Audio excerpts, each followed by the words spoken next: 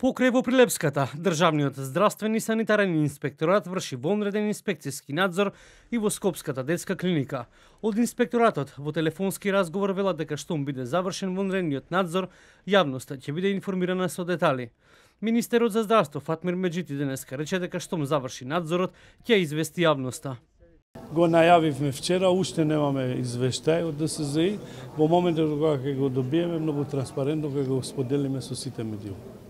Од обвинителството по однос на случајот со бебето кое почина, велат дека оформиле предмет. Основното јавно обвинителство Прилеп оформи предмет непосредно по настанот земене исказ од мајката, а се очекува постапувањето и на надлежните органи кои вршат вонреден надзор во медицинските установи, пошто ќе биде донесена одлука за натамошниот тек на постапката.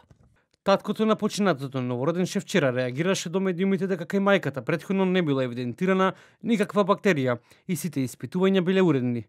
Се сомнева дека во болницата во Прилеп не ја кажуваат вистината за целиот случај и дека не му е јасно како здраво родено дете кое треба да добие отпуст од болница добило сепса.